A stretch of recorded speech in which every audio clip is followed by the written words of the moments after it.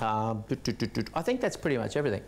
Um, okay, so as I said, a little bit of background just going on and just kicking off as well is that these events have come about through myself and Don spending a little bit too much time together and, um, you know, and getting to a point where we want to share this knowledge and certainly Don's. It's interesting to see a, a difference in the, the people who have been here for business as opposed to the ones coming here for Don's wealth and investment and shares and property seminars. And so it's, it's interesting to see a diverse crowd coming along. Okay, so anyway, let's kick off the story. So first of all, and I might try and bring that a bit closer. It's not going to work. Let's talk about a couple of things. So, who recognises this bloke? Yeah. So, does anybody want to take a guess? Actually, you can comment online if you want, and the comment in the comments if you recognise this guy.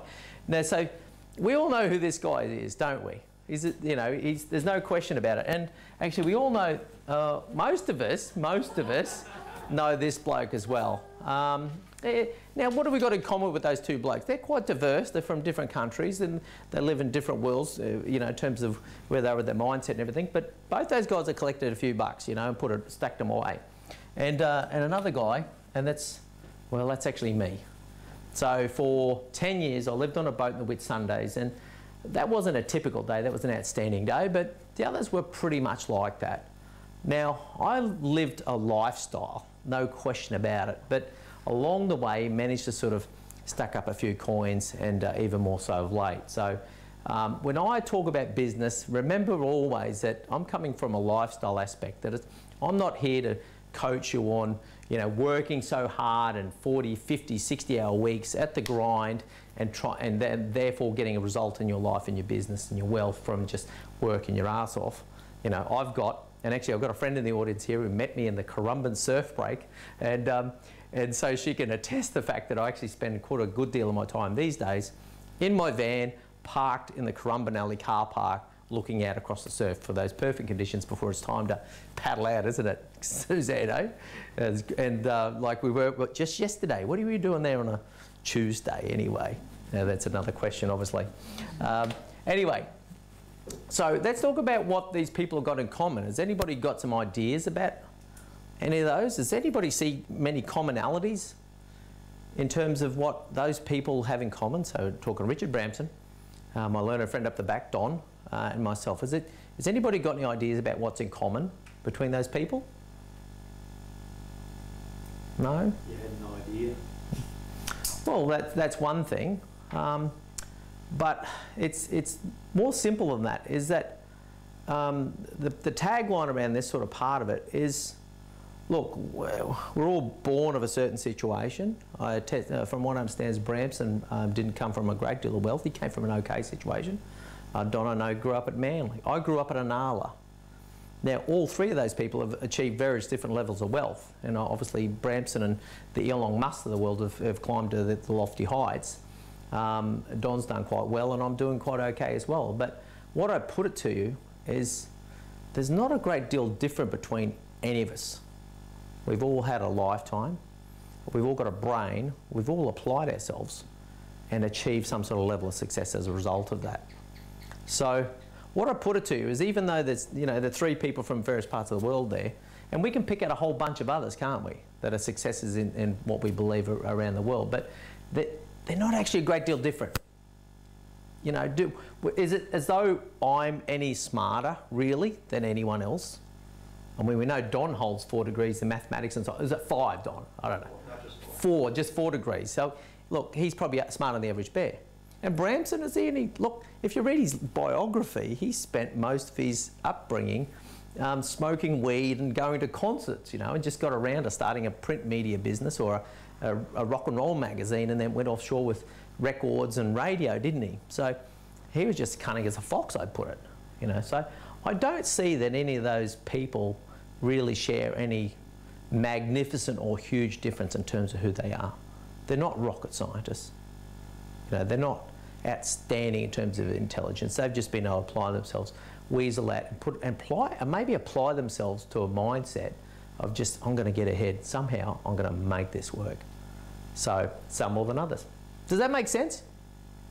So that's that's a really big takeaway from when. So what I'm putting to you is anybody here can start a business.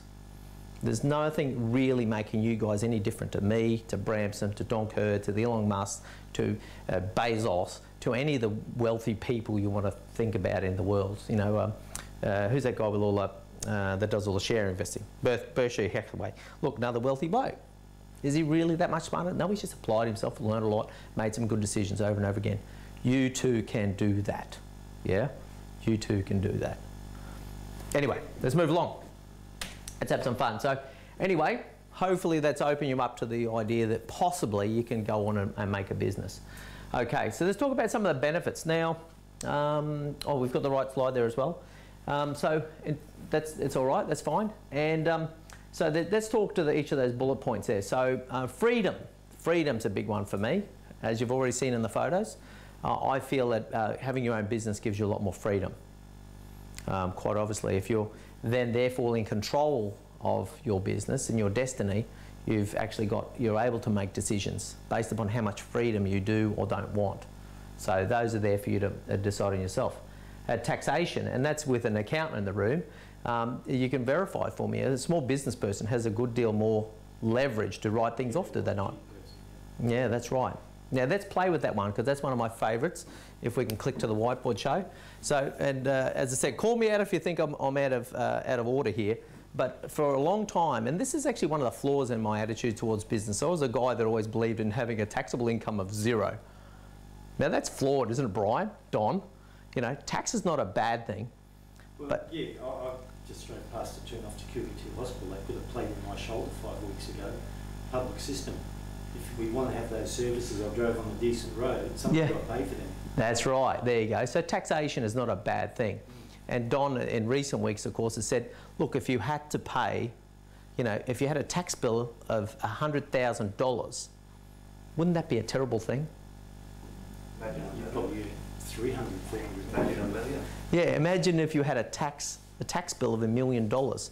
Now, Probably my colleague here, Brian, would be able to guess what that mean in terms of your income. You probably that's a company. had a client years ago, he was a manager, state manager for BHP's section. Yeah, unfortunately, because of his employee share plan maturing, he had a tax bill over a million dollars. I would have loved to have been him. Yeah, poor fellow, poor fellow for the million dollar tax thing. But anyway, let's play it out for the for the small business and where you kick off.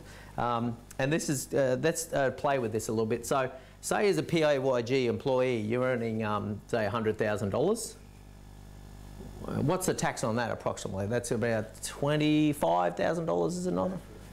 Yeah, about 25. So PAYG, so if you're employed, your tax bill is about 25k, yeah?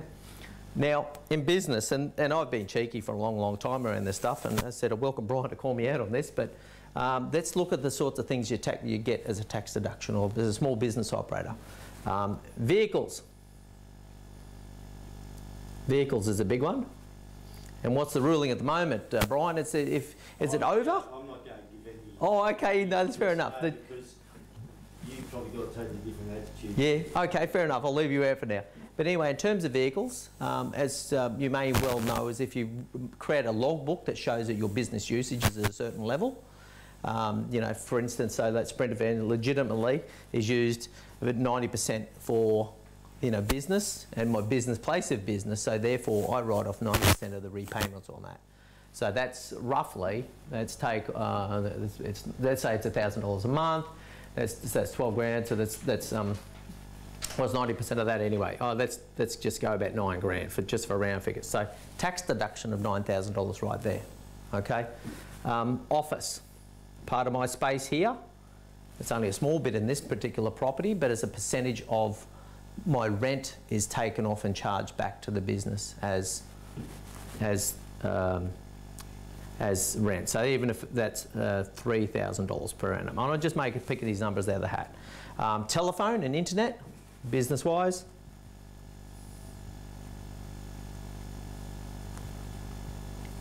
So that's you spend about 100 bucks, or maybe less than that, I think. So let's just put in 1200 and whatever else you can come up with. So attending conferences, uh, doctors are famous for going to conferences and they love doing that because they tend to find a way to make that a write-off, I find. Now, has anybody else got some other ones that they want to insert in here? That, how about computers?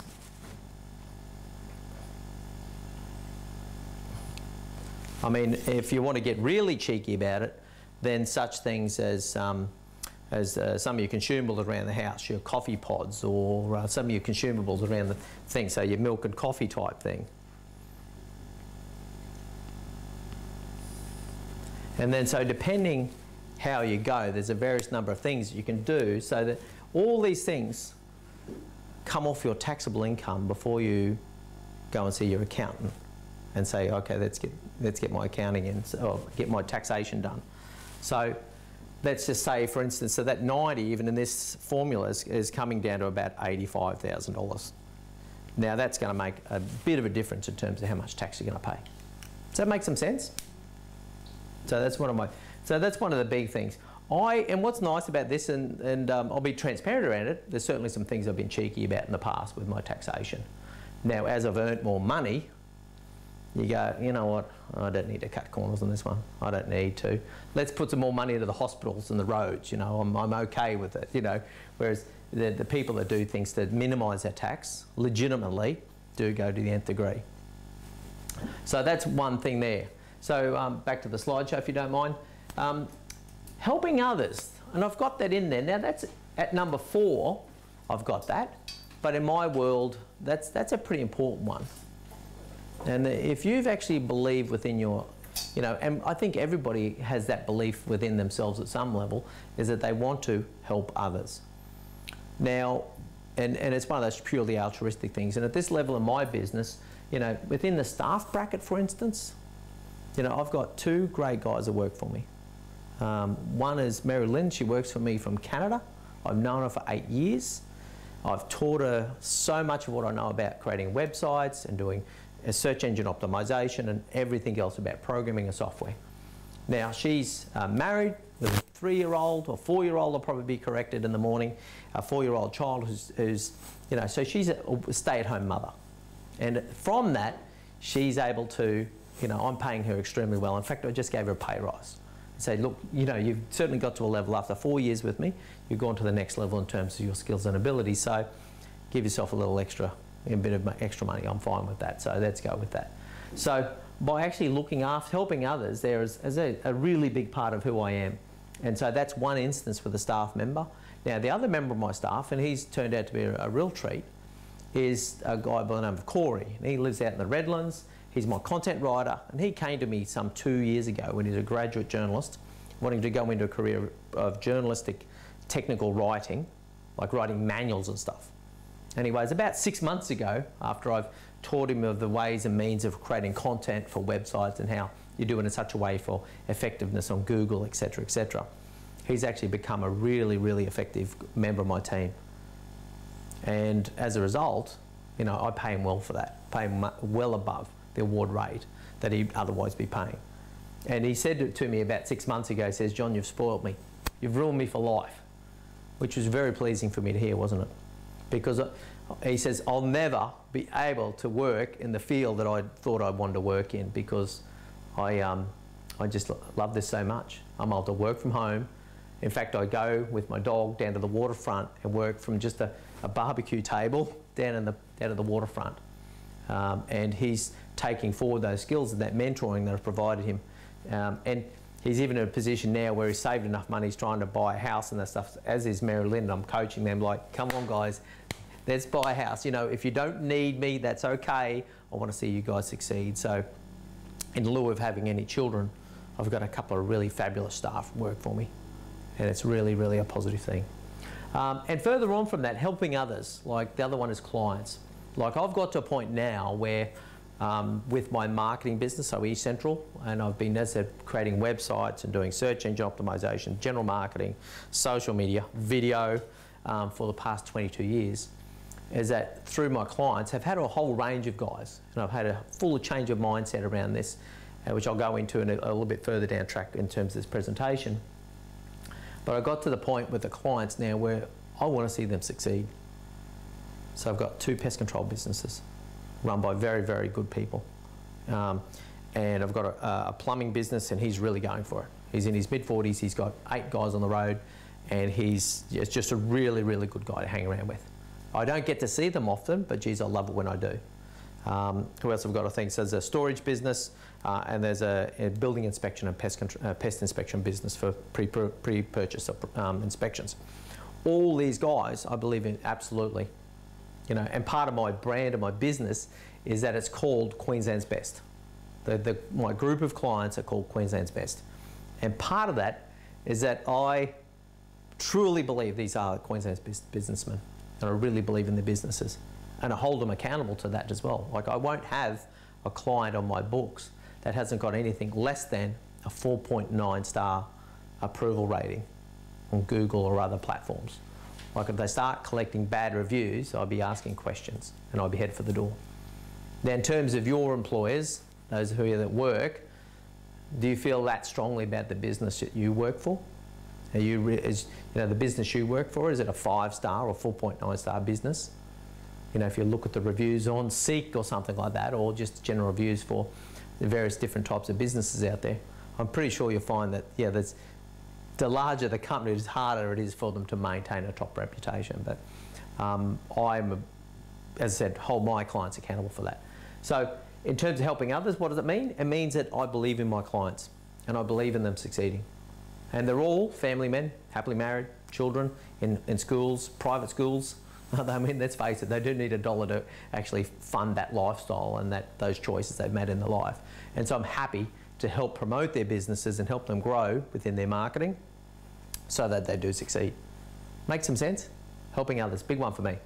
Um, do, do, do, do. Wealth from nothing. Now, we've had in terms of the, the, uh, the uh, conversation from Donna, maybe I'll go back to the, white, the whiteboard if you don't mind there. Um, uh, there's, and we'll talk about sort of types of businesses in a minute, but um, you know, Don's uh, great, and we know from any sort of wealth creation mindset is that from the age where you start work, so let's say you start at age 21 and you go to 65, any reasonable sort of investment strategy, and Don does this virtually every week, he'll remind you that you've got to start early so you, and you get a curve that well, it doesn't quite that go quite that exponential, but it's representative, I guess. But the um, uh, but as a so your actual uh, wealth here at retirement is what it is. Now, who's probably the most famous? Is a question, and there's an obvious answer. Who's probably the most famous guy globally that started at 65 to become a very wealthy man? Anybody want to have a go? Started, he was a businessman throughout his life. No, I'll keep giving you. I'll keep giving you tips until you get it. He was born in 1890. I, I checked his Wikipedia before I started. He went lived through the Depression. He operated restaurants. In the end, he ended up sleeping in his car, driving around the US, trying to sell his fried chicken recipe. The Colonel. The Colonel, at 65, was pretty much destitute, yeah? But he was committed. committed to the point that he was driving around the countryside with a fried chicken recipe and a, and a method for making the best fried chicken around with a pressure cooker. And he managed to get people on board to actually buy the recipe and sign on to his franchise for that. So the big deal here with, with a business is, this, is that opportunity, as I said, of creating something from nothing. Um, I know I've got someone in the online audience today uh, and she, she, uh, she was working as a cleaner. I said, why aren't you, why haven't you just started your own cleaning business? And that's some of the advice I gave her a couple of years ago. And pleasingly, it was about a month ago, she contacted me and said, John, I've finally taken the plunge. I've started my own cleaning business and I'm inundated. I am so incredibly busy with cleaning work because I do a great job and so I'm getting referrals and I'm building a very successful and, a, and a, a business of my own control. She's picking and choosing the clients she cleans for. And I'll come back to the whole cleaning type business in a little while. But so, as I said, you can start anywhere. I mean, you've got to be pretty committed, but you can start from nothing. Now, arguably, I'd even say at around about 50, we'll call that spot there, I was doing okay. Had a few bucks, not a lot, but I, and I had a couple of uh, properties that were drilling a hole in my pocket because they were negative geared. and my taxation was very low at that point. But I put it to you that in the past three or four years, and these and a whole bunch of other books, some coaching, some commitment, going to weekly business events, that I was able to change my mindset. And, and I'll get round to some of the punchline stuff around that fairly shortly. But I uh, basically started from scratch. Not quite scratch, but from a very low point in my wealth position to now be doing quite well, thank you very much.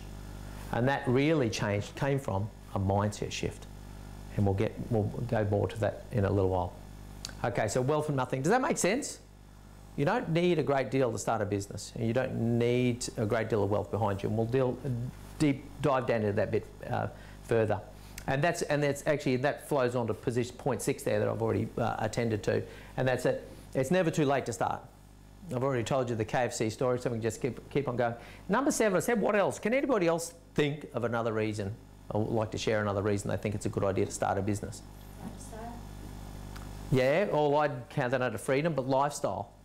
And don't I have a lifestyle? I've, you know, I've made some, some decisions over my life that um, maybe I've probably pushed the boundary a little bit too far with my finances, but I've been to 30 something countries. I've driven from Germany to Istanbul and all around for over a period of five months. So, and that was made possible because I got a digital business granted. But yeah, the lifestyle elements of all that. I lived on a boat for 10 years. You know, a little story around that is that at one point, just when Telstra launched the next NextG network, so they, they kicked off and they, um, you know, 3G was like, they, you know, Sol spent $2 billion on creating a high-speed, you know, phone network in Australia. When rest the, where the rest of the world and the other telcos in Australia were just thinking about it. So all of a sudden we had this high-speed internet. It changed my life. And that was like 2006 or thereabouts. And subsequent to that, you know, a friend rang me and said, oh, John, um, there's some high-speed telephone network now. It's like launching next week. I go, no, look, I've got all that stuff. It's rubbish. It doesn't work. The CDMA modems, you'd go a kilometre from the, the tower and they were rubbish. It didn't work. Whereas it was for real. And I bought the plug-in PC card for your computer and I bought the phone and instantly I went from being living on a boat constrained to coming back to the marina to do my work to having the freedom of the Whitsunday Islands. Now I was stoked about that. But the kicker around that is that as a subsequent to that, I actually um, started blogging around it and actually did data speed tests from all over the Whitsundays. I was like around Hamilton Island, had a station there. There's one down south of there's one around Airlie Beach, there's one at Shute Harbour. So I was testing this performance of this and I was blogging about it. Anyway, the phone rang, didn't it, with someone from Telstra. And they rang and said, oh, hello, it's uh, Joanne from Telstra. I go, uh, I've paid my bill. I know, I know it's a bit late, but the money's coming, all right? They said, no, no, we're from marketing. You know, we'd like to send a film crew. How do you film, feel about that? I go, well, that sounds all right, doesn't it? So anyway, um, about two weeks later, they sent a film crew. And uh, it became part of a show reel that Sol Tarano used all over the world to promote his Next G network that he built with $2 billion of, of, of shareholder money. And he used that video. It was like, hi, I'm John Nayler and the ocean is my office. You know, and I was the tagline while they showed firefighters and remote education and newscasting and logistics. They had a, a little key change at the end, a little strum of the guitar, and it was hello, you know, let my hair face go, and the hair was long, and it, I was perfect for the bit, I tell you. But subsequent to that, so the, the, the real fun part about that is not only was my mum so proud because I was in all the newspapers and on YouTube and everything, but at some point Telstra did, I took some needling, but they eventually gave me a $6,000 credit on my phone bill. 6,000! That's pretty good, isn't it? So anyway, so you put yourself out there, you never know what you come to. Now, um, so lifestyle, yeah. Anything else? Anything? Feeling achieved. Yes, Don. Thank you very much. I'll need to update this slide. Thank you. Now, you, oh, you feel that, Don? I mean, you're helping others. Is that so that gives you the altruistic outcomes? Possibly something passed on to the kids. Oh, that's true. Yeah, it's something to flow on. I mean, the, the benefactors of of, uh, of my demise um, will probably be my employees, but that I get to feel very happy about as well. But that sense of achievement, certainly, yeah, yeah. Like I've looked at my pro projected income for this year, and I'm going, yeah, that's all right. It's not amazing. It's not Richard Branson. It's nowhere near Don Kerr, I don't think, but it's pretty good it's pretty bloody good. And so there is that certainly that sense of achievement. They feel, and, and I've got to say, it, for me, it will. I, And it, I, I meet a lot of people who are stressed out due to money. mm, It's part of the freedom. yeah, actually, and uh, hands up who who here knows someone that's stressed out stressed out about money. You know, Any, anybody not putting their hands up? You know, I mean, everybody knows someone that's stressed about money. So to actually get the, so that's actually even a separate bullet point for it, is, isn't, even, isn't it? Let's write these down so I've got them for later. So achievement. I'm famous for not spelling right. Um, uh, no, it's a note for myself. Um, safe um, with uh, money. That's right. You're feeling confident. You're feeling confident. And what was the other one we said? So lifestyle was the other one. Yeah. Legacy. Legacy. Thank you, Don. So there we go. So there's some. Hmm? Or self, yeah, or self, yeah. So it's a thing. So all those sorts of things are, in addition to those sorts of things, the benefit of starting your own business. I mean, is that is that not motivation enough? Have I not, you know, said enough things that make it really palatable compared to the safe world of PAYG? I don't know. I'll leave that up for you to decide. Anyway, let's move on. Ah, now we get into some fun stuff. Uh, what have we got? Whiteboard. Whiteboard, please. Uh, from the, from the uh, studio audience, who's got some business ideas for me? Anyone? Anyone? I need some business ideas, otherwise this goes nowhere. New. A new product? A new product. A new product, okay. Make something up. Yeah. Give me a new product.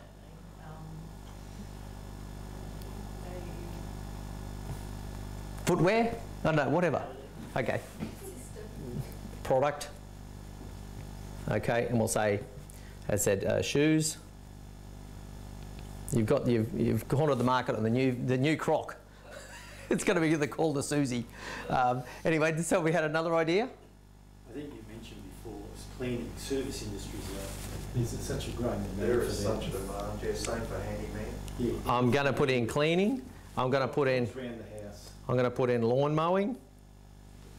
But Chemical product. but that's consumables. So what what sort of hit me with the consumables like office consumables or Meals, prepared meals delivered. yeah meals. Well, that whole industry's been transformed by all these delivery type. Yeah. I started baking this. See, in where I come from in the Philippines, we use vinegar as dipping sauce. It's like spring rolls and Right. fish and stuff. Yeah. they put chili in it. So I've started making this vinegar. Yeah. I put chili, ginger, turmeric, peppercorns, and it tastes really good. And I started selling them to friends. Yeah. And no, it's sort of, I know there's a lot of, um, you need to get a license and permit from the council. I don't Yeah, know, yeah. sort of put it out there. So you're saying a food product, Yeah. food product generically. Are we talking about? Uh, sort of yeah, we're going to talk about a bottle product. I say so. Um, so a sauce. Yeah, I like that because I mean, there's no end of new sauces hit the market and do quite well. Anyway, so Yeah. You could buy those things, but you make your own unique sort of recipe in that way. Of, Yeah. Well, yours is a little bit different. Yeah, that's right. yeah, and there's and there's all the marketing that goes with those sorts of things, but there's always opportunity in that, as there's always opportunity in lawn mowing, cleaning, meals. All these things have opportunity, and they've been done before, but they're done again. Anybody else want some uh, other Just think of influencer. influencer? In light of Facebook going down yesterday, let's put influencer. People are trying to do now. Fluencer. I'm going to definitely put that up there because there's a few people, even in the room, online, that know my feeling about social media. Um, do, do, do, do, do, do. Any others we want to put in there? Social events. Social event, event. Oh, event management.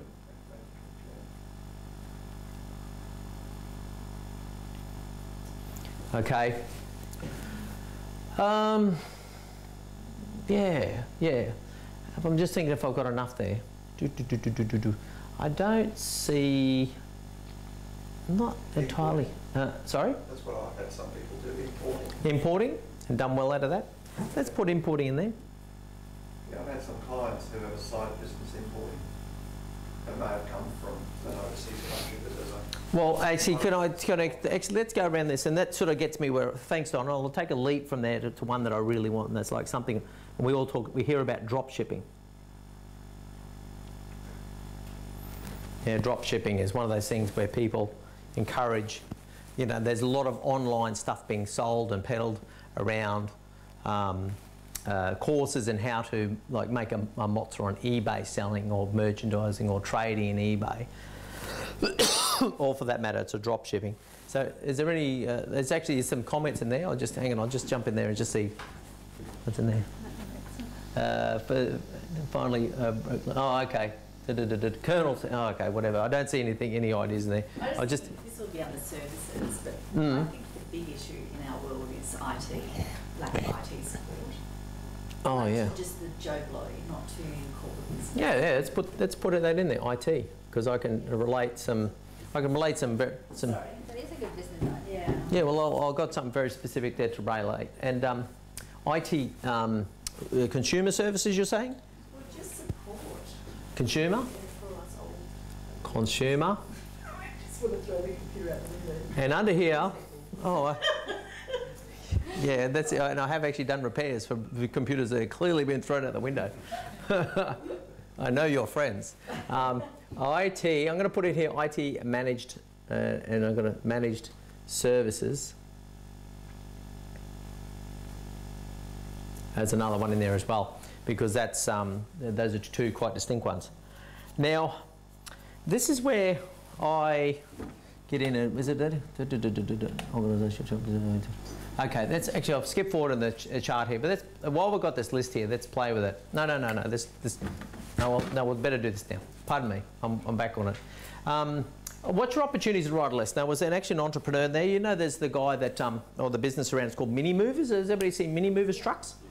So I got to actually interview that guy on the Central Business Show a couple of years ago, and he now lives in the Philippines, and he's got four or five different businesses. He says, but one thing he says is like, if you're going to, he actually used to have a, um, a pawnbroker store at Stones Corner years ago, and he said, he says, "Uh, one day I watched one of these lifestyles of the rich and famous shows on, on television on a Sunday afternoon, as was the thing back in the day. Um, and he says, oh, how do I get a lifestyle like this? I'm not going to get this as a pawnbroker, you know, trading in stolen goods. No, not stolen goods, things that are the biggest Stones Corner are famous for it. But um, so, but he he said, and he said this, and that's what we've just done, is you look for opportunities and you write a list. And he says, you, you just in your everyday life, you just go around and just look out for things you see as opportunities. And you write them down. And then what you then do is then judge them very harshly. So you look at the, the, the so judge it harshly on the nature of the target market. So let's do something with this, okay? So target market. And everybody knows what I mean when I say that, yeah? Target market. So IT consumer stuff. Suzanne is anybody who's frustrated with their computer. I'm just going to say um, um, everyone. That'd, that'd be generational though, wouldn't it? Yeah. I know my two Yeah. baby sons think they know everything, but they just go and buy something new or something. exactly. Yeah. Yeah. That's right. And I will. And I'll drill down on that because that's. That'd be our age group. Mm. Yeah, Yeah, and uh, we'll get to a punchline around these. So we'll, we'll judge all these quickly on these on these tangents. Yeah. So market size. IT managed services is for business. Yeah. Let's talk about um, a product for shoes. So um, everyone, everyone needs shoes. They want that new croc. They want their, pair of Susies. Um, cleaning um, is obviously that's residential, um, but we're to uh, we're going to agree that that's people above a certain above um, a dollar threshold. Yeah, you've got to be able to afford cleaning. Yeah. Um, something about lawn mowing here, residential. They're going to be a homeowner, or they're going to live in a house. And once again, above dollars. Meals. Well, hasn't that become popular? Whether it's Menulog or Uber Eats or whatever, but this has transformed the world, particularly during COVID times, hasn't it? Now, I don't necessarily think it's even in a positive way, but there's certainly, and you hear about these things, what do they call a ghost kitchen or something? It's not a ghost kitchen, it's something similar to that, where people are setting up commercial kitchens in, in small commercial blocks and then just punching out meals. And they'll punch out a whole range of different meals. And apartments are being sold without full kitchens. Yeah. Exactly. So it's changing the way we live, and, and we're only in the we're only in the minority in terms of the way that is. You watch those documentaries about how that happens in China and other places in the world where so much, such a high percentage of food is delivered, meals are all delivered. Terrible thing is in terms of takeaway containers in my world, as a guy that's you know fighting a war on plastics quietly, is a nutritional element. Thank you, Susie. But anyway, look, anyway, everyone is a candidate for this, and that's why we see see the explosion here. And I need a little separator here for this.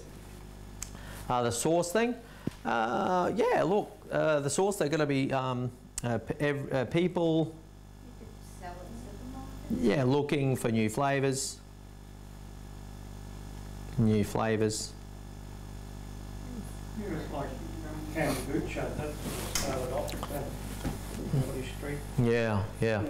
I know, and that's right. Now, how many products are there in kombucha now? There's, a couple of big players, and I take it that is, is Pepsi in the game yet? Is Coca-Cola in the game? Is one of the big beverage producers in the kombucha game and just going to wipe them all out because they've got the control of the shelf, the fridges, you know, the fridges are Coca-Cola fridges, aren't they? Um, influencer. Who's their target market? I'm still trying to work that one out. Anybody want to help me? Um, so, social media uh, users. Yeah, well, it depends on the product that you're trying to Yeah. show. Oh, well, it's arguably, I mean, this is live on YouTube, arguably. I'm in the influencing game right now. To a really small audience, but, you know, I've, I'm trying to get people to come over to my way of thinking on something, yeah? So, influencer. Uh, event management. So, that's going to be for, uh, we doing more weddings or we're doing more corporate functions? I know a bit about this industry, corporate functions. Well, apparently, if you use a wedding planner, you can have more people at your wedding during COVID because they know the ins and outs of the COVID restrictions. Okay, that, what Yeah, I've known a few friends whose kids have got married. because they've got a COVID plan or something. Yeah, that they're, Ah. they're trusted to do, so they can have twice, twice as many people, I think, at the event. Oh, So big, big yeah, so for them. But uh, 12 months ago, what sort of what sort of position were they in? Wiped out. Now I've actually um, quite a well acquainted with um, a successful event management person, um, friend from Sydney, and uh, she at one point had Nikon, Apple. Uh, she was doing things at the Opera House, you know, and that's it's a pretty fickle sort of industry, and it's, it's successful if you put the energy in. And she certainly worked overtime on that one, so well done to her. Um, importing drop shipping look, pick a product once again. Well, let's bring in what's the latest thing for kids now? There's some, isn't there some little finger skateboard or something like that? You know, isn't it? Can be, there's an idea. Well, there was. There's, there's a little finger skateboard and they're doing tricks. Who was telling me about that? I don't know. The, the other years, there's a couple of fidget spinners. You know, there's Oh, just, yeah, spinners, you know, just that's it. So that's it. Next cool thing for kids. For kids.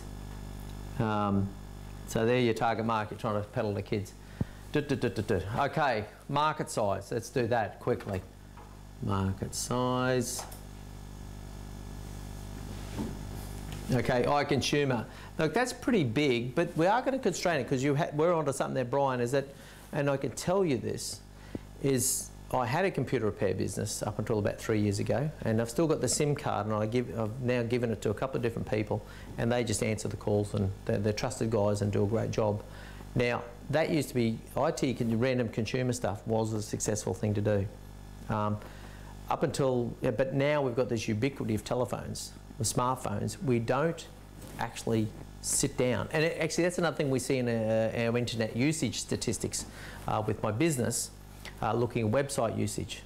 Like it's just gone 20% mobile, 30% mobile, 40%, mo- then, and now it's over 50%, 60% mobile on websites. Never mind social media, you know, your WhatsApp, your bloody, um, all those other things you're doing, and then apps, you're consuming a whole bunch of things just purely in apps.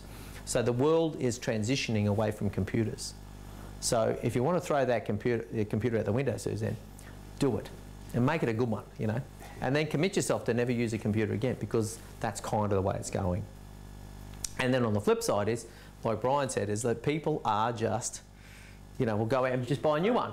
Get a new iPhone. How many new iPhones would there be? Yeah, yeah, and that's and I've so often I've come across the circumstance where um, know, uh, friends, relatives of mine, they said, "Oh, the computer's playing up and it's got some, it's been hacked, so I've just bought a new one." I go, "No, I'm an IT guy. We can get that stuff off that computer. We can repair that cracked screen or the the hinge. You know, my favourite one was fixing the hinges. I used to do that all the time. You get into a little, no, never mind. Anyway, so um, I'm going to say in this one it's shrinking. Is, is everybody okay if I write shrinking in here? IT managed services for business. Oh my God. And that's where I say to my friend who is doing the computer repairs business at the moment, so why aren't you doing managed services? Everybody know what that is? Managed services? You know, the co- It's You pay storage. you, you pay a fixed amount of money to an IT services firm Oh. as a business, and they promise you peace of mind, no matter what happens.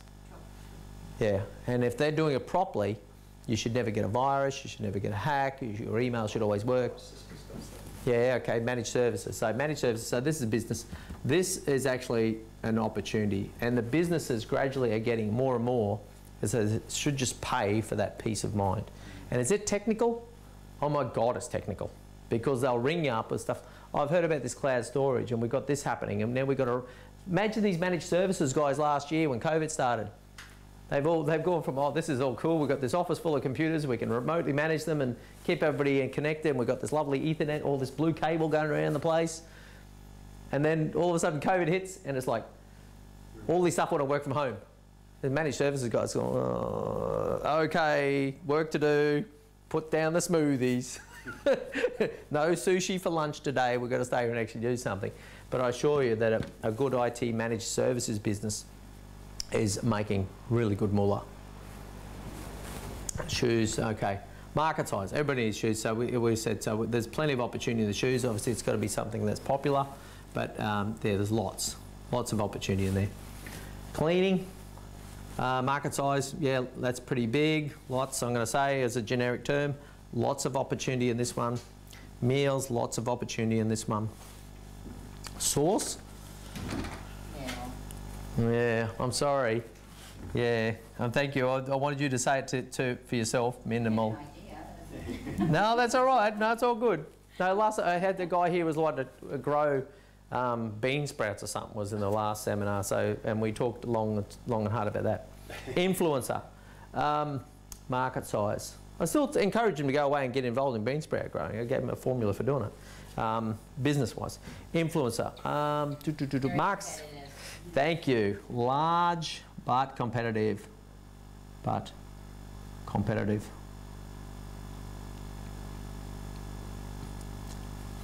Sorry, studio uh, online audience. You obviously can't see this close up, but you sort of you can hear me talking, I guess. Um, event management, um, small and competitive. Yeah. Does anybody want to fight me on that one? Small and competitive.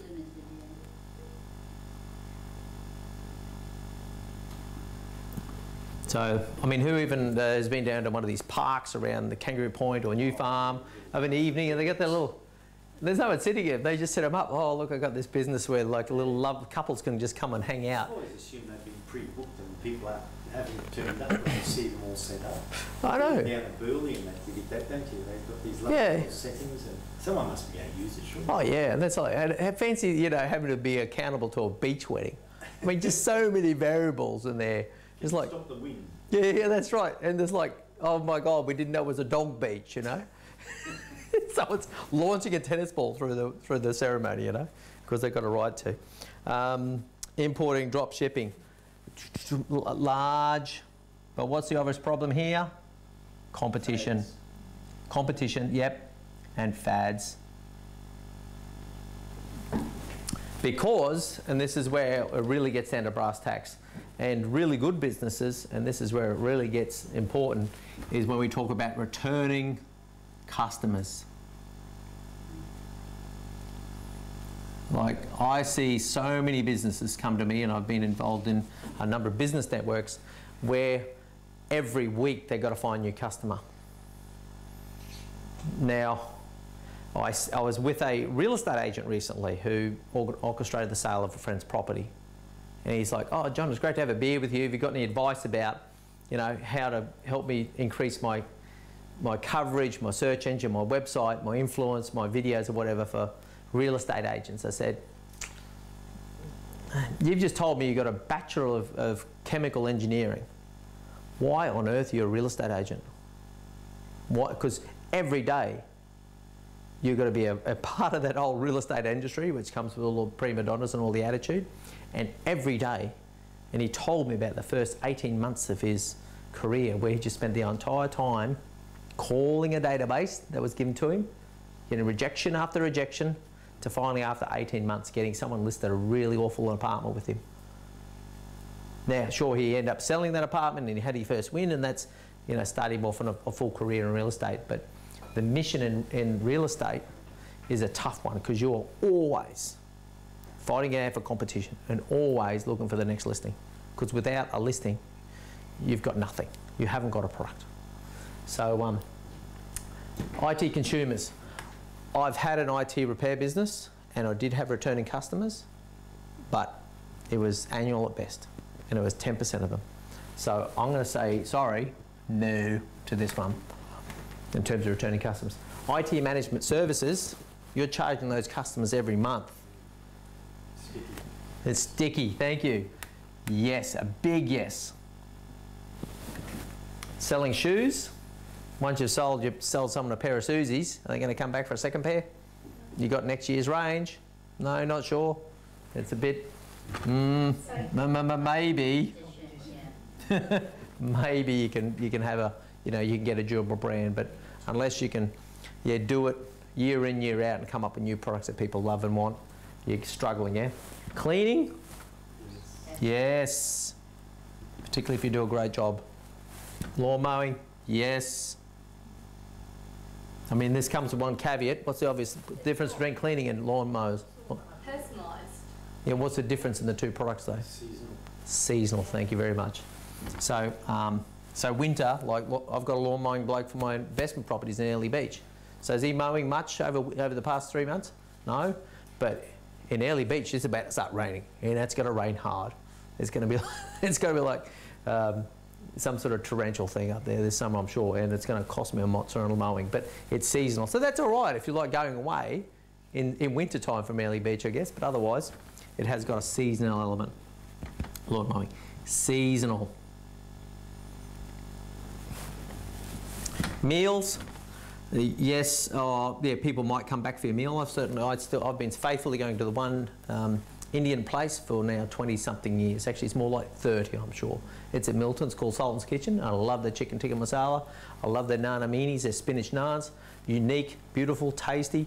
Does nothing good for my cholesterol, but I still keep going back. So um, there is that sticky thing that happens around restauranting, but it's it's it's a bit fickle though, isn't it? At the same time, isn't it?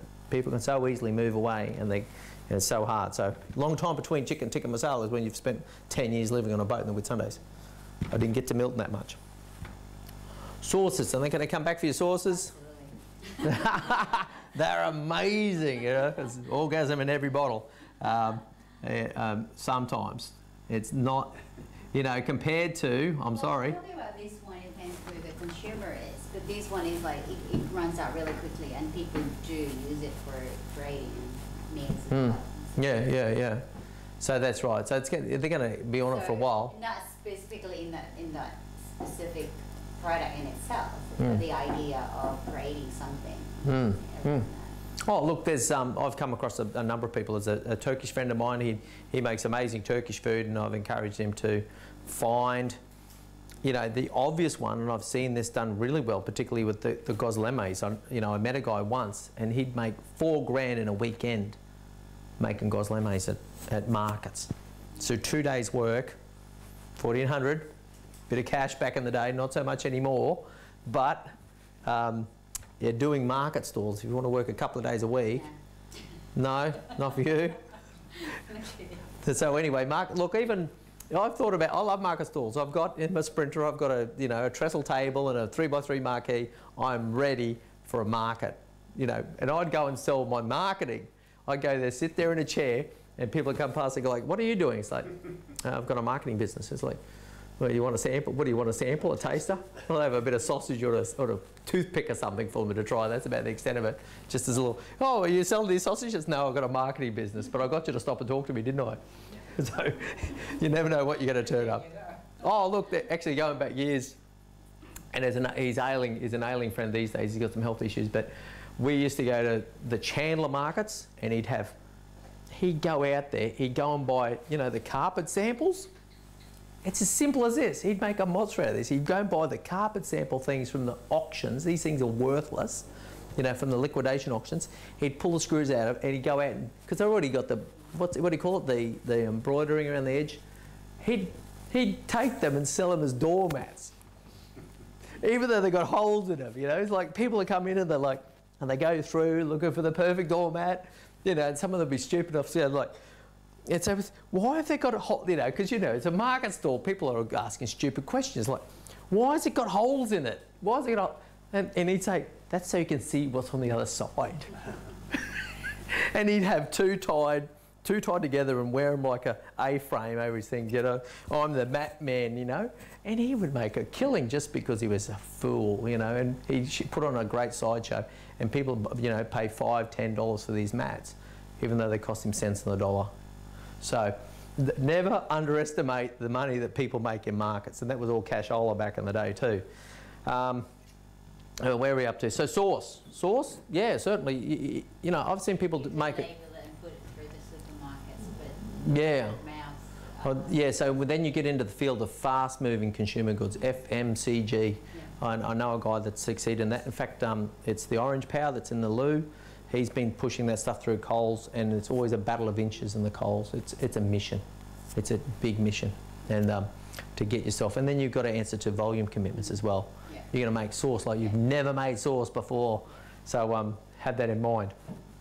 Influencer, returning customers. If you've got someone to buy something off your influence, can, are they going to buy something else? Are they going to come back and buy everything that you tell them to buy? The next big makeup product, the next, I don't know, surfboard. It's pretty tenuous. I'm not sure. I'm going to say not sure. And let's face it, those guys are making, and there's actually a bit of accountability coming out. There's now actually, a, the UK have come up with a, I do know a bit about the field obviously, but the UK have come up with some authority that's now checking the bona fides of the influencers and who's paying them. And so if they put something on their Instagram that's a paid placement and they don't write it up as that, in the UK that can get them in a lot of trouble because they're not being transparent in their marketing or they're, they're influencing. Um, and that's and obviously and never mind the outage we had on Facebook and Instagram and WhatsApp the other day. Never mind that the um, you know the currently the governments of the, of the Western world are certainly questioning the, um, uh, the, the, the the way in which these social media platforms behave, particularly focused on Facebook and the and the, you know even this paper, then this whistleblower just now just said, look, Facebook's doing things to young minds, even in full knowledge that they are. So. So this whole influence thing, I've seen some, look, it's, it's like in my world, it's like being a top tennis player. You know, the guys, the top 10 tennis players in the world, they're making a killing, yeah? They're getting paid millions, they're winning millions to be a top tennis player. They've got the sponsorships and all the rest of that. You go there and then the top 100, they're kind of doing okay, yeah? And then below that, they're sleeping in their cars. And they're going to events in the hope that they're going to actually get a start. There'll be a wild card entry because they happen to be sleeping in the car park and they get a go, get a go at that tennis event. So that's how wild cards work. So there's so influencers and that sort of business, movie stars, uh, sports stars, and that sort of thing. It's the people at the top of the game make all the money, and there are. There's people who make some crazy money in influencers, but it's a hard gig, I tell you. um, event management. Uh, returning customers. Yes, I'm going to say that one's not too bad, depending on whether you go in the wedding market. Obviously, if someone uses you for a wedding, are they going to come back? No. Recommendations. In theory, no, but that, that- I'm genuinely saying returning customers. Sure, they can. They might recommend you for someone else's event or for someone else they know is getting married and want to use you as well. But they, in theory, should never come back for another go, unless maybe they come back for their 10-year anniversary. That'd be nice, wouldn't it? But it's a long bow, so I'm saying not really. that being said, as I said, I've got, I know some event management businesses that have done very well out of account management of major corporate businesses that do regularly hold events. And, uh, and if you do that well, you can make a lot of money, a lot of money. Um, importing drop shipping. Um, I really don't like this one. As I said, there's people out there selling courses on drop shipping and how to be effective in this market, but it's, it's a long bow, isn't it? Not really. Oh, this is the part where I run out of whiteboard space. I remember this from previous uh, uh, doing this talk. Easily done by others. In marketing, it's called imperfectly reproducible. You know, is, is, the, is the art of coming up with something that people can't reproduce simply. Um, so, uh, uh, what the replaceable? I'm just going to say, yeah. And that's really scribbled in there. Um, can someone else do this? Yes. Can someone else do this? Yes. Uh, shoe products. Uh, that's if it's an amazing shoe, yes, but there are other shoes, yes. Cleaning, yes. Lawn mowing, other people, plenty of people want to mow your lawn. Meals, yes, unless you've got something amazing. Sauce. I'm going to give you sauce. It's, you're saying me this sauce is pretty special. So I'm going to say, You should put some percent. yeah, that's right. We, we all want to try their sauce now, you know. Everybody who's watching online, send in your email address or your address. We're going to get you some sample sauces. Uh, Laura Lee's going to make up plenty for everyone, you know.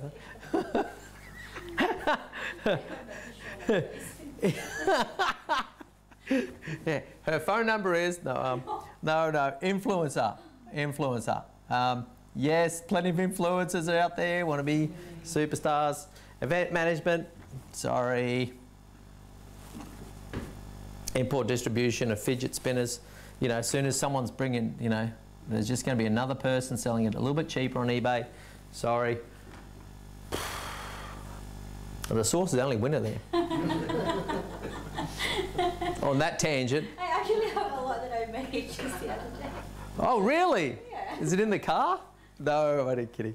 Now, anyway, so th- have we got any here that we want to add now? Now we've looked at this matrix of models here, yeah?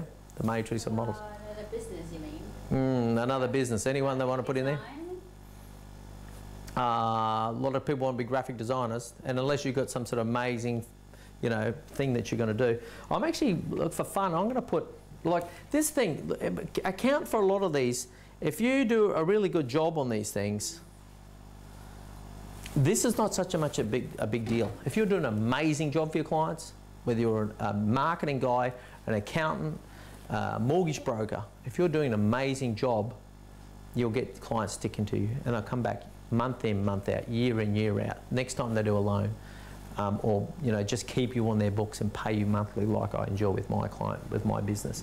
But that's the thing. So a lot of these things you can wipe out. A lot of these ones you can, you know, can take this element out to a certain extent. Also goes for this one as well, and this one here. If it really is an amazing shoe, people come back looking for more shoes, won't they? Um, saying what have we got in this year's range? But um, there's um, do, do, do, let's put in here. I'm going to put in here, um, and it's a bit of a wild card. R and D company. I've got a friend, and uh, Don knows who I'm talking about. He's got an R and D business. He does electronics. Now he's got accounts. He's, he's doing stuff for major retail. He's doing stuff for Outback Electronics, so um, four drives type stuff and um, stuff you'd take camping with you. And he, for the most part, kills this one. And he's built up accounts where he's got these major businesses um, buying volume stuff off him because he's got the electronic designs, he's got the IP, and he's actually gone to the next level where he's actually patented this stuff. He's come up with some really unique designs and really unique technology, and he's dedicated his life to it. He really is passionate about it. You don't get him started on it, he just never shuts up. but but he, by doing patents, for the most part, they're not going to protect you everywhere in the world, and people will sometimes just come and copy your stuff anyway. But for the most part, patents are a really great way to kill this one. So even if we look at R&D, uh, so this four-wheel drive market, uh, the market size, well, four-wheel drive market in Australia is huge. Uh, returning customers, well, he's actually, he's, um, he's a manufacturer, yeah? So his clients are actually retailers.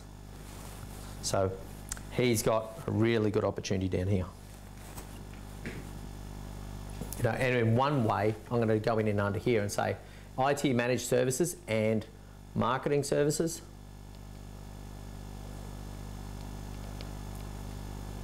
And I'm going to, Basically saying you've got a skill you can sell. hmm? You're basically saying you've got a skill you can sell. A skill or something unique. Something that you're good at. Mm. Mm. It's- It's like my other business doing workshops. Yeah, that's right. So you've got a unique sort of bend on things, as a set of personal things. And I was saying to someone earlier this week, is like we've all got something in our head. You know, and we're, we're you know, none of us in this room are fresh off, fresh out of diapers. We've all got a level of knowledge in something that is valuable to something. And maybe what I'll do is I'll kick on to the next slide because that will actually help uh, draw up how you can actually turn something rather mundane into something worthwhile and profitable. And maybe that even relates in terms of my own story. Um, but I will actually, I will drill down on it. So target market, business, and I'll extrapolate on that a bit more around my own thing. Uh, the market size is limited. Share the, uh, my customers' return. Um, and is it re- reproducible? Not really. Um, everybody that's ever built a website or, or looked into it has probably heard of WordPress. Okay? WordPress is used by 90 plus percent of the world's websites. We build websites, we do not use WordPress. We do it in our own special way and we own the IP. And when someone leaves us, they don't get to take that IP with us. So just like my friend Alan, it's not easy to reproduce what we do. We're very effective at what we do, and we don't use the regular tools. We don't use MailChimp, is another favourite. We've got our own software for doing that. So by doing that, I've actually been able to manifest quite an effective business. And that's, as I said, quite a distinct difference from just five years ago when I returned from Airlie Beach going, oh, you can get a website for 600 bucks out of India or from offshore. How am I going to compete with that? I'm not going to get the five, ten thousand dollars for a website I did when I left. and uh, so it was like, okay, I need to be smarter about how the way I do this, and that certainly manifested. Anyway, um, well, we've done that one. Kind of order. Yes. Do you mind me asking, how many companies do you think create programs for web design? Um, How many, any? For, oh, for web design, um, well, um, uh, well, I've mentioned WordPress, yeah. Okay. Yeah. So you're talking about create software for software for doing it. Does anybody else want to name some others? Other platforms for building websites? I was paying thirty dollars a month to have a two-page website written by Mile originally. Hmm. Um, it was just our own stuff. It's- If any people can do it, could do it, I just had nothing to add, so I let it lapse recently. Yeah, that's right. There was actually a print media business in Brisbane. I'm trying to think of the name. I think it was what it might have been Snap even or something like that. And they had something like that where, as part of your print portfolio, you could just have them create a really basic website for you, and they charge you. Booking your um, internet address for yourself, so if you want to call Mm. yourself something, tied it up, Hmm. your website name. Yeah. Uh, but uh, to answer your question, like there's Wix. Has another one anybody else heard of Wix? Wix is really popular because, uh, as opposed to WordPress, it's actually easy to use. If anybody's ever had a look at WordPress, including myself, when I came back to the industry, I looked at WordPress, I lifted the bonnet going, oh, this is awful. Well, there's all these plugins and there's all these complaints about them um, colliding with each other, and then you have to upgrade them endlessly, etc., etc. So, What's the one they use in high schools? Because I know my boys at their high school, year 11, 12, they had to design a website for a business. oh, they probably used the Microsoft front page product back in the day. What age are they now? Uh, 23, 25. Okay, yeah, back in the day, um, Microsoft had stitched up with, with a product called Front Page, which was like a, a thing, and you designed it and then spat out pages. but long gone are those days. As I said, w- w- WordPress Oh, is. it was an online product, it wasn't anything on print. Oh, oh, look, could have been something like a Wix or something like that. Yeah. So, um, so that's the thing. Like, as I said, I had to go from being a web designer using the tools that everybody used, but I reprogrammed it and came up. And a little bit more of about that story, how that happened for me. So, as I said, I came back to Brisbane. I'd had this great life. Income was looking pretty shabby. um, I joined a business network and went along as, and just went back to my origins. I'm an IT graduate, so I went back to, and I've done a lot of computer support in my days. And like you say, a lot of people want to throw computers out the window frequently, and they do. Or they sit on them, goodness knows, hacking, whatever. So, um, so I went into just com- doing computer support, and that was all right. And then within this business group, I started identify as like, well, he, you know, started hanging around with these guys, and they're all sort of asking questions about web design and marketing and stuff like that. I go, and actually, I discovered, much to my, well, mirth and satisfaction, I guess, is that, you know, all the skills that I'd done and the work I'd done on the Whitsundays working for a, a number of businesses up there, I, I didn't know it, but actually now had a term. It was called digital marketing. And that was the thing. So when I came to appreciate that all those things I've done in terms of writing software, websites, um, putting things on Google, managing ads, managing social media, doing newsletters and sending them, creating videos, all photography, all those things, all were bracketed under this thing now labelled digital marketing. I go, oh shit, I'm a digital marketer, aren't I? Isn't that good news? I've actually got a title at last, you know. And so from that, I then transitioned through doing marketing, um, appraisals for people, doing reports, and I came up with a product. So get this, I did a product and I went to this business group and said, from today, forget the computer stuff, I'll still do that for you. But what I want to talk to you about is being, is doing a marketing plan for you. Like I hear a lot of people asking me questions. I see a lot of people make mistakes. For five ninety five, I'll do your marketing report, and I'll give you a money back guarantee. Like I do it, for, I do the interview. I'll go away, think about it, write your report, present it to you. If you don't like the printed article and the presentation, I'll give you your money back. And so I sold a half dozen at five ninety five. No one ever wanted their money back. They're all deeply appreciative. One of those clients said, Oh, that's great. Now, how do I get this done? I'll go, Oh, shit. Now I've got something. Well, uh, let's say two grand a month. He's gone, All right, let's get started. I'll go, Oh, shit. I've just got a recurring income, haven't I? I'm back in business. And then from there, um, I just went, and then what I found is actually there were some really common threads in the marketing program. And I was able to then uh, take that product to other people and say, look what I've done for him as a tradie business. We can do those same things for you and you'll get a result, I promise you. I'm not going to give you a money back guarantee, but I promise you we'll get you a result. And meanwhile, the 595 plans went to 895, went to 995, went to 1500, went to two grand. I think the, the, the most recent one we sold, we don't really bother doing them anymore. The most recent version of just that marketing plan, I was sitting down with someone having a constructive conversation about where they are in their business and how they go forward from here with their marketing. The most recent one I sold for 2350 and I promise you it was effortless.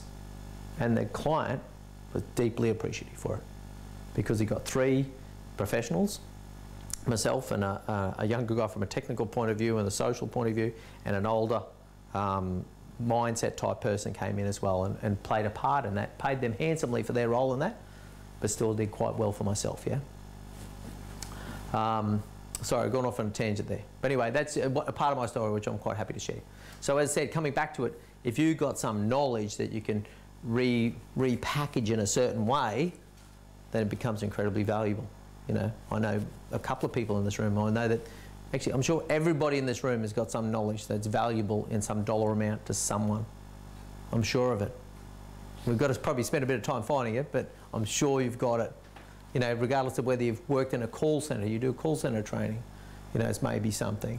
You know, um, you know, mortgage broking is something traditionally you wouldn't pay people to do your mortgage broking. But if your knowledge is so good at mortgage broking, why wouldn't you pay that mortgage broker to sort your shit out? Anyway, um, what size business do you want? Let's get on with it. Um, Gerber, it's on the thing here, the E-Myth recommended reading, E-Myth, E-Myth, E-Myth Revisited, the, the updated edition, so from Gerber. And early on in this, and around about the first chapter, he says something really important. He says, if you start a small business, what are you going to get? Small bu- Who wants to start a small business? Let's pretend we're going to start a small business, yeah? So um, now in a small business, and what I'm going to do, and this is one of my, this is where really the rubber hit the road. This is something I did one Sunday morning. I'd got some coaching, I'd done a bunch of reading, and I sat down. I thought, and this is a real takeaway. I love doing this for anyone randomly in the street, uh, down at a surf break, whatever it takes. I love sharing this piece of knowledge. But let's pretend that you do a small business, and we'll pick one out of our list from before. Let's do sauces, yeah? S- sauce business.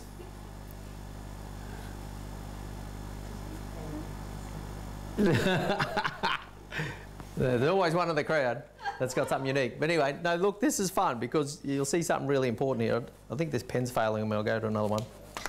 Now, um, now, um, now let's do an organisational chart for a small business for a small business that's in the business of making sauces. Yeah. She's just provoking at the moment. Okay. So you've started that business. You're the CEO of that business, yeah?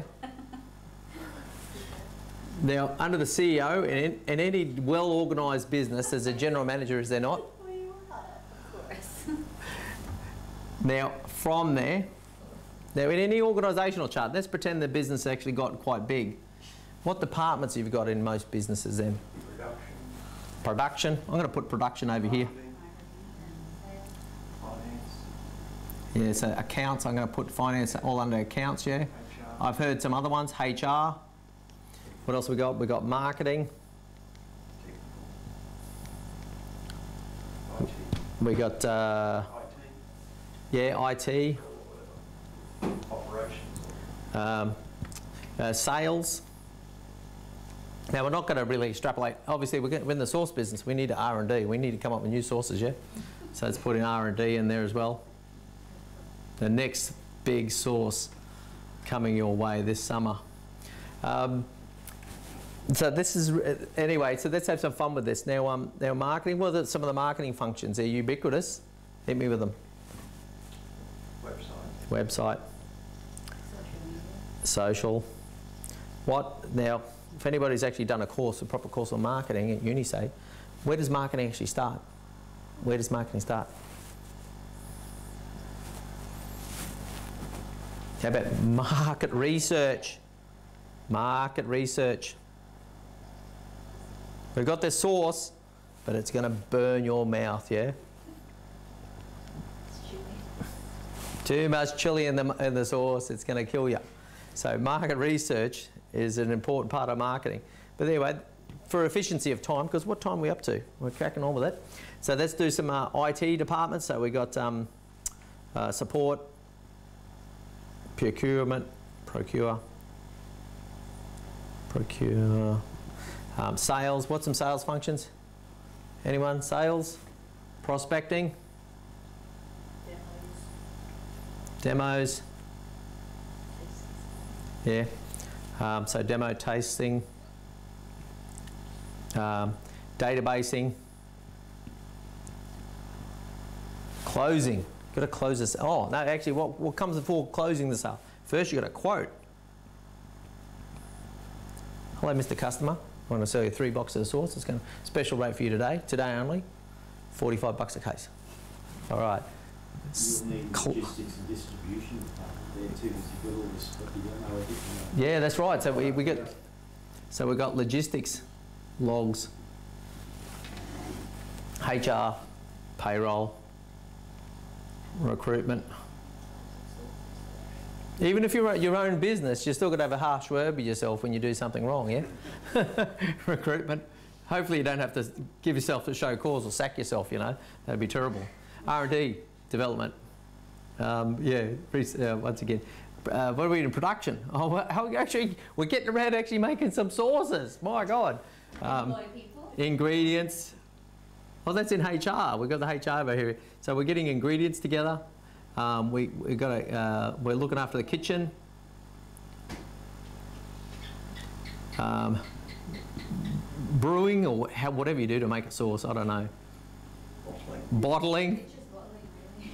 Oh, okay. Then all the government regulations.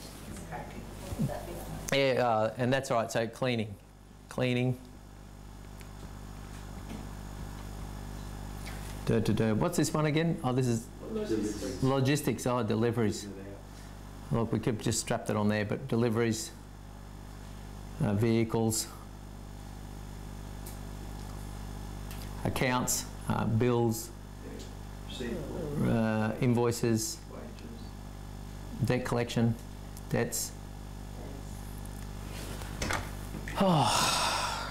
For the efficiency of time, let's get cut to the chase. Does anybody see the obvious problem here? Yeah, Yep. This is one Sunday morning for me, I assure you. the one Sunday morning, as a small business guy doing websites and the odd computer repair, fresh off the boat. Yeah. How do you feel about that? You know, I sat back and looked. It was a piece of A4. Um, I don't know whether I saved it, but I hope I did. I wish I did. I could go through my, all my notes and hopefully it's there somewhere. But I stood back and looked at that and gone, holy fuck. No wonder my head's a mess. I, for 17 years of running a business, I've been doing all those things. All of those things. And you're not the best person to do those things. By no means are you the best person to do all those things. You might think a lot of yourself, I certainly do think that I'm quite capable, but you're not the best person for those roles. Um, and there's, and there's, in terms of the things I think back over the 15 years, the stuff I did, and some of the mistakes I've made, um, some of the quality control issues that pervaded in my work, I was a really average web designer, to be quite honest.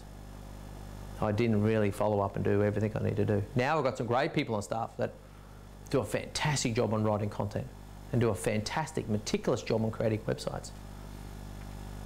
While I'm spend a bit of time surfing. I've got multiple people in this room who can vouch for that. but anyway, so do you get some takeaways from that? Does this slap you, smack you in the face at all? Because this is the big one for me. So, you're not the best person. So straight away I say, what's the one thing on there that you're really hopeless at? What's, the, what's actually no better than that? What's the thing on there that you would hate to have to do? The creating it making it, the production. Oh, you don't actually want to make it. No, no, no. You happy to make it? start with, of course, you have to. Do you want to do the Do you want to do the marketing, the socials? Uh, yes. You do. Do you want to do the sales? You want to get on the phone and convince people to buy your product? Uh, I, I don't mind that. Yeah. Okay. How do you feel about uh, doing the recruitment, hiring and firing? Yeah. You're okay with that? All right. We're still looking. How about the driving around delivering stuff? No. All right. We've, we have a winner. So in here, delivery. So that's the first thing. Now I, I did that with a new client of mine recently. And I, I, did this process with him. He says, oh, how about the coaching element? I go, no, we can start that now if you want. What's the one thing? I did this process with him. I said, what's the one thing you hate doing here? He says, oh, I hate writing blogs. I hate writing blogs. I said, well, you've just signed us on. That's our job. You know, congratulations, you've just lifted that weight off your shoulders because you no longer have to write blogs. And so the first thing that you would do in this business, by the sound of it, outside of what have we got? Accounts. How do you go with the accounts? You like chasing people for bills, making people pay, like doing your BAS? Okay, that's good. But there are bookkeepers around that'll do that stuff cheaply, or better still, get use an accountant. They'll do a f- fantastic job every time. And there are so as I said, and what you're doing, and it's really simple. Now, how many different ways can you get someone to deliver some sauce to someone cheaply? You know, you can say, Vehicle, it has to be Well-. Well, you you got to find so many people. If it's a domestic or sorry, a Brisbane, you know, Southeast Queensland delivery or Brisbane delivery, you're gonna you can put in an Uber, and then you're gonna find a favourite Uber driver, and then he's already got an ABN. He's already making an income as an independent contractor. So you're going to say, going to come to an arrangement with Mr. Uber driver. Say, hey, can you be here? Thing tomorrow. WhatsApp message, reliable. Can you be nice to my customers? How do you feel about wearing a shirt that's got my logo on it when you deliver it? All of a sudden your Uber's become your personalised prestige five-star delivery specialist who delivers with a smile. Job done. Job done. So, and that's kind of where, the, where we cut to the chase is around this, is another takeaway from that is ultimately, I personally believe, and I'm trying, and certainly certain people have done it. I mean, go back to our first picture, Branson.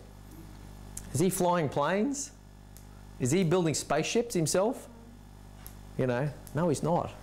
He's hanging around at events. He's sticking his head out the window of aeroplanes with a spacecraft in his hand, you know, a toy one in his hand, saying, "Look what I've done." He hasn't done any of that. He's just counted the money and got other people to do the work. So ultimately, your job across a business, in my opinion, and you've done this process for yourself and you've come to realise that your business has got this, every business has this shape, yeah? So your job to do is then get out of every single one of these. And then you can spend more time on the lifestyle element because, and you've found trusted people and you've, you've um, and, uh, trained people and contracted people and employed people to do an amazing job for you. And going back to that, that one of those earlier slides about the sorts of things, got great staff, got great clients, the way you go. And in the end, you just sit atop the pile. You might, I still control my bank account. People are a big fan of that. Make sure that you're doing the account so, you know, you know that no one's pinching your money. So many bad stories about that stuff. But anyway, in the end, you sort of pick and choose the bits that you do. I still do my client meetings. I love spending time with my clients. I love being the head of production where I'm talking to my, my staff weekly, bi-weekly about you know, what we're doing. So we're still delivering. And of course, I don't mind counting the money either. Favourite thing to do. So does that make a bit of sense? Now, final thing, before we leave this, how about if in this business we went from doing, let's do something a bit left field, pardon me, um, let's, let's sell BMWs. Cars, let's say just cars. What are we going to change in there to make this into a business that change sells cars? Value. This bit.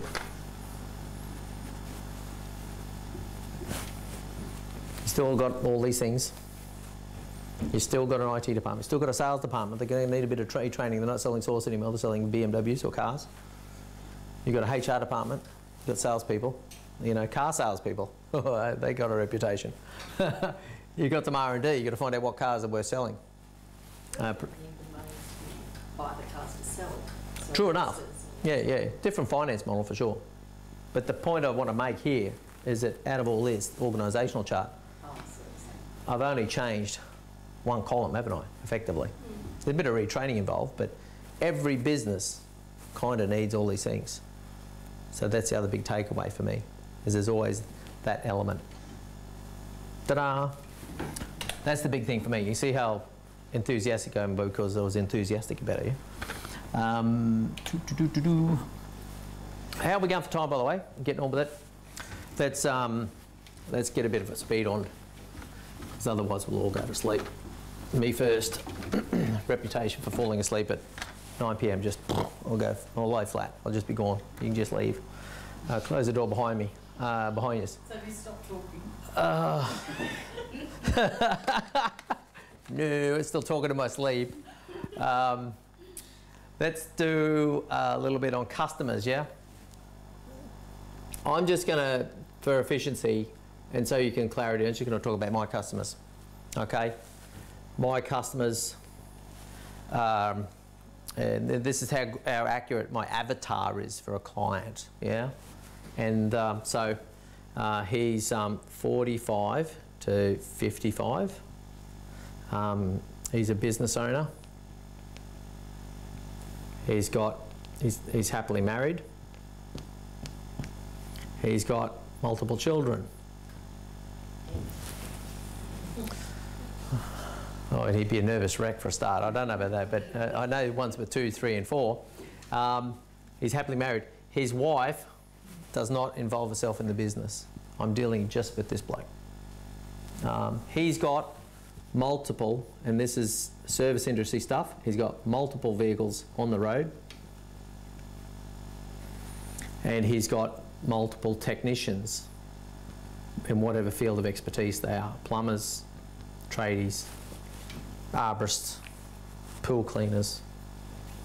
And, uh, that, and, and he's got another thing about him, He's got a superior commitment to getting on with the business. and building this business. He wants a bigger business. And he's also got a, a fantastic attitude towards customer service. He wants to make the world happy. So, uh, what else? He's also got he's also got a fabulous administration person, or someone actually who runs the business. We've all come across them. They're usually a bit prickly, but they're, they're fantastic administrators, and they run the business. So I can think of in every one of my business bar one, there's someone really good who's you know, you know the head administrator, the office manager, and they're usually a bit difficult to get along with. But once you win them over, they're yours for life. So, and amongst the business, there's uh, some other person here as the admin. Now, if I can find one of those businesses, and they're a trade business or some sort of service industry business in the residential market, not business, uh, they're not B2B, they're not dealing with businesses, they're, they're going out and fixing something in the house. And we talked about that in, in a little bit already, haven't we? With cleaning business, that sort of thing. So, if you find me one of those and let me have and I get his ear, and he's in the in the in the mood to grow his business. He wants more market. I've got a fantastic product for him, and I will win him over, you know, five times out of ten, and have him spending thousands of dollars a month with me, um, and he'll be quite pleased about it. So when I say here, who do you want for customers? Think long and hard about who your customer is, and more importantly, who you don't want. You know, I, I actually sacked a client back in 2019. And good client, paying a couple of grand a month, reasonable sort of bloke. I've had a beer with him or, or three, you know. But he just wouldn't return phone calls. And it was time to renew the service. And he was just like, just completely ignoring me. Emails, phone calls, just treating me like dirt. So in the end, I said, I'm sorry, mate, we're not working for you anymore. Anyway, he said, Oh, I'll come up, I'll fix it up now. I said, No, that's not the sort of respect I'm looking for in this relationship. I'm sorry, we've resigned. And long story short, after we handed off everything as gently and nicely as we possibly could, accounts were settled, is at one point he, he offered to come and fix me up. Now, there's a guy with a bit of an edge, yeah? he said, I should drive to Brisbane and come and fix you up. I punched me in the face. So, not the sort of client I want, is it? So, when, who do you want for customers? Do we want late payers as clients? No, we don't. Do we want people with a, with a streak of arrogance or, or, or a streak of, uh, of aggression in them? No, we don't. You know, do we want people that don't return our phone calls when it's really important we speak to them? No, we don't. So when you decide who you want for customers, think long and hard about who it is you want, what they look like specifically, and um, and more importantly, what you don't want. Then what distills from there as well is where are you going to find them? Where are you going to find them? So uh, a little anecdote about that, and I'll kind of try and wrap up shortly, is around that even um, one series of clients who, uh, so I've ended up with three clients. Oh, I actually included this troublesome fellow, um, but, we, but we let him go. But I was once upon a time, how random is this? And this is kind of where, no, actually, I'll, I'll go to another story. I did a website for a, a fairly grumpy sort of bloke a, a, few years ago and I did his computer repairs and actually he was a pretty smart sort of bloke but he had a bit of a bend against the world but that's all right he was likable all the same so I went over and did all his stuff and, and did a little website for his, his business now one day he sold his business to a really big business you know where all of a sudden one became he sold it to a, portfolio where they had 25 of these operations and they said to him said we don't see in your books here, in your, in your thing, you don't have a line item for advertising. You're not running any Google ads or any social media ads. He says, oh no, I don't do any advertising. I don't have to pay for ads on, the, on online. And they said, well, how does that work? I said, oh, this guy John Nayler at eCentral. He's done my website, did my marketing, did my search engine optimization. I've never had to spend a dollar on advertising because the phone has just rung. And they go, where do we find this guy? So I got referred in. I did one of my marketing reviews. I think I charged 2300 for that one as well. Um, and then subsequent to that, after pulling apart their existing website, their existing marketing model, and there was a bit of a change in the air as well within the organisation. So we're able to, we were the rat in the ranks, we're brought in to shake things up a bit. And subsequently, that account became one that paid me in the vicinity of 20 grand a month. So old mate who paid me bugger all over the years became a very big payday. and um, and the legacy of that is still fueling, yeah, my lifestyle.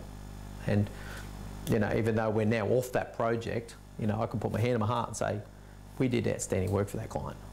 We did outstanding. We showed them week in, week in, month in, month out, that we did a fabulous job from. Now we got caught on the wrong side of politics, but in the meantime, it still amounted to a really sensational payday uh, for the business. So that's my anecdote about that. So, so where are you going to find them? You just never know, but I'm a big fan of being nice to people. I'm a big fan of looking after people because I know that that goodwill will pay in spades, given fair opportunity. Make sense? All right, what have we got left? Oh, we, geez, we still got this many slides. Sorry, but gee, I'm going your way, Don. I've been hanging around with you too much, mate. I'm getting along in the word. um, study. Let's talk about a little bit about um, uh, how generous are you, because I think it's an important tangent. Now, I was a bit of a. I would give away my grandma. If people say, "Oh, thank you very much," that's amazing that you give away your grandma. I would do lots of things for people because um, I got affirmed by by affirmations. Know, I've always been a terribly generous bloke, and at some point that had to stop. That had to be curtailed. No, there's a price attached to what I do, and you've got to pay it. That's a really important step to understand. Now, I don't know whereabouts on the tangent. I said here, I said, because I said it last time, I said, well, everybody here is really generous, aren't they? And someone said by the back, says, I'm not. I go, all right, maybe you need to shift a little bit along the generosity timeline or, or, or continuum there to be a little more, bit more generous because, as I said, I work for one client, you know, tirelessly for a long time for not a lot of dollars, and it ended up being a, a really big payday. In fact, it set me up. So that's that one done. And on the other one, there's what on earth is contra? Does anybody know what contra is? Yeah. Yeah, we all too well. Yeah, yeah, that's right. I'll do something for you, you do something for me. I've got a problem with that, and uh, it's and it's a real easy thing to fix because there's always this sort of unknown about contra. Like there's always a perception in my brain when I do contra for you. I think, well, at my hourly rate, that's sort of like this and that, and I kind of think it's like that. And the other person looking at you going, well, I know his costs aren't that. I, you know, and even though he's it's sort of his retail price and that, I know it's only costing him 50 bucks when he's charging a grand. So, um, and it's only a bit of his time anyway. So, that's all I really value it at. So Contra has this really poisonous. Brian sitting in the front row smiling away. I did contra deal with my yoga instructor for the whole year. Did his two individual ta- tax returns and this trust. And I said, oh, I'll just keep coming to yoga. You know, I busted my shoulder. I haven't been to yoga for two months. and as soon as I said that to him, he's on the bloody phone to me every bloody afternoon after free advice. oh, it's cost me an arm and a leg and nothing out of it. Yeah, and a bucket shoulder to boot. yeah, I can't go. So yeah, don't do. Yeah, that's it. No, and so I've got a really, and it's an easy fix. It's an easy fix, and I've done it a number of times with clients where I do have, um, like for instance, I do a, a, a thing for a coffee supply business. So what I do is when we do work for her, I send her an invoice for the amount that that costs. And then sure, we can cancel that invoice, but in the meantime, I better get beans to that value turn up at my house, and they do. And if, if I'm not in the market for beans, because I have also got plenty of coffee beans down there, then the invoice stands. So contra is actually, yeah, contra, for those who don't know, is best avoided. Brian's another example of the, the, the fact. And as I said, there's a real easy fix as you put an invoice amount on it. You exchange invoices, and if they cancel out, the GST cancels out as well, yeah, boom, zero. So if, if it's same for same value, done on an invoice, everyone's square, everyone's happy. So beware of contra, like Brian is, and me as well. Okay. Um, boy, oh boy. Okay, really quickly, these are the steps of starting a business. Who here actually has their own business? I actually have to go. So Oh, okay. You said it was going to be about. Yeah, no, my apologies. I got, I got really banged on. Yeah, that's all right. That's all right. Yeah, okay. Thank you very much for coming. I'll see you later on. Um, so anyway, I'm just going to bang through these quickly. Who is who's actually got their own business here? Yeah, so there, Brian, you've got your own. So uh, the rest of you guys, just quickly, um, you know, the process is here. Uh, getting an ABN, you go online and register for that. Tax or tax invoice, there's that GST implication. Talk to your accountant about it. It kicks in at around about $75,000. Um, company or sole trader. I, I've been told by my accountant that around about $120,000 plus or minus of taxable income that you're kind of better off to do a company structure. And I'm not even talking about a trust there. Brian's got an attitude, probably going to keep it to himself. No, no, he's got to say it. All I'd say that he must be basing it on the tax rate. Exactly. Because there's so many other things before you dive into a company or a partnership or trust. You've got to have a good talk to your accountant about it. Yeah, have a good talk to your It accountant. shouldn't just be based on Yeah. tax rates. Exactly. So there, I've ended up with a company because at 27.5 cents. Yeah, yeah, at a certain level, um, and it's given me a bit more flexibility around the things I do as well. So that's a conversation. And point three is a conversation for your accountant. Yeah, um, register your business name online. You're going to need some software. Xero, MYOB. There's something like Zoho Accounts and some other freebie accounting software.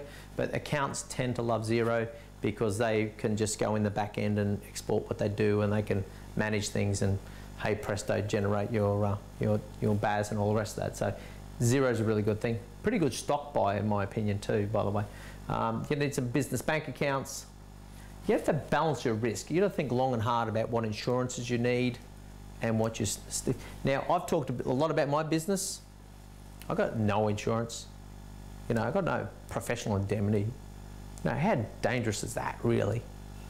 But then again, I go, well, I've been 20 years and nothing really terrible has happened, and my clients are all lovely until they're not, hey, Brian? But um, they're, they're lovely, so I'm unlikely, and if I'm careful, I'll get away without having uh, need for a great deal of insurance. Now, if you deal with government, the first thing they're going to ask you, you've you got like 5 million in liability insurance? I don't. Um, spend nothing. Spend nothing. You're starting a business, spend nothing. Don't set, send, give a dollar to anyone because there's so many people want to lay into it for marketing costs, websites, um, software, IT, um, social media, uniforms, you name it. Everyone puts it. You'll get calls from the, you know, the radio and the newspaper. Still want you to think you're going to spend a dollar with them. Don't spend any money that you don't have to when you're kicking off. Start reading and seek out a mentor or get a business coach. Another really big thing. As I said, I read 52 books in 18 months. Made a real big difference in my mind uh, in terms of my attitude towards running, starting a business or running a business, and certainly was things that uh, I said had the epiphanies and changed the way that I do it, and now much more successful than I was. So don't wait 17 years to do that, is my opinion, uh, as my advice. Yeah. Um, business names and logos. I'm not even going to do that because we, we probably are running out of time. Because um, other than that, I think it's time to get started. If you've thought about get, starting your own business, then I encourage it. I think it's a good thing. I said you can start at 65, you can start, start at 35, you start at 20. But business is one of those things where you can take staff with nothing and really make something. And particularly if you believe in it and you structure your business right, some for a few of those things I've said, then you're probably a reasonable chance of success, yeah? Any questions? Was that useful? Yeah, Was I entertaining? yes. A little bit? Okay, good. Thank you very much, everyone. And thank you very much. Uh, I, I, link, uh, what, I've got two people still watching online. Don, you're so much more popular on streaming than me. You're like Netflix compared to my Stan, you know? Uh,